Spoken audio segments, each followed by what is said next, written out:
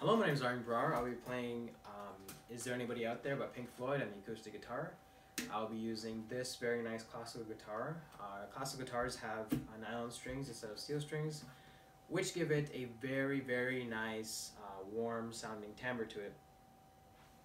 Um, and Pink Floyd um, obviously noticed this or liked this, and they put it and they used it uh, on the song in the album. So, uh, me being a faithful cover artist, uh, am, I am going to uh, use this classical guitar to play.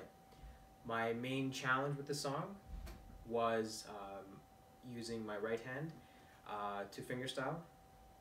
Um, now, finger picking, fingerstyle, whatever you want to call it, uh, I can do it.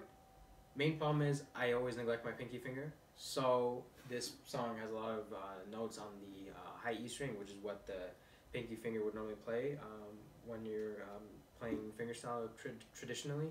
So um, by picking this song, it will build up the muscle of my pinky finger. And noticeably, after uh, playing the song like hundreds of times, I think it's a lot, uh, lot better than it was before. Um, other than that, I do not have anything else to say. Um, I will play the song now, and I hope you enjoy.